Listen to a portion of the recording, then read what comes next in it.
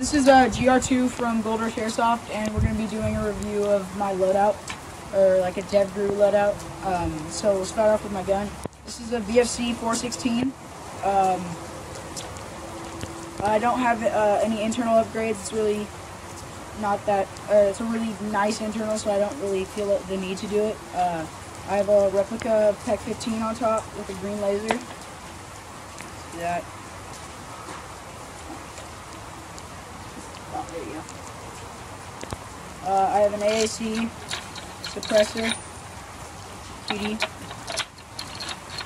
Um, I have a Knights Evolution uh, M600C flashlight, uh, a Magpul RVG, uh, some Magpul ladder rail covers, a uh, Aimpoint replica, Aimpoint T1 replica, and a uh, Magpul PTS uh, MOE stock. Okay, so we're starting off with my helmet. Uh, this is a Lancer Tactical Fast Ballistic replica. Uh, I custom painted it in AOR1, kind of. It, I made a digital on it because I got it in snakeskin and it wasn't really working for me. It was too dark, so I did this.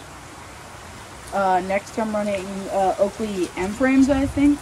I don't really know which ones they are, but they're, they're Oakley uh, glasses.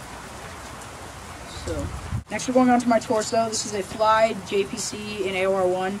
Uh, there's, I have one Coyote Brown uh, M4 pouch, M4 mag pouch. Um, I run Magpul PTS E-Mags. Uh, I have blue painter tape right here because it, it won't wobble so much in my 416.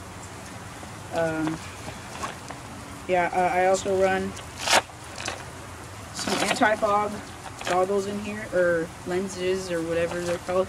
Have the wipes, and uh, a, a speed loader for my gun. Uh, I also have a really bad version of AOR1, uh, this, this one-point sling, but it works.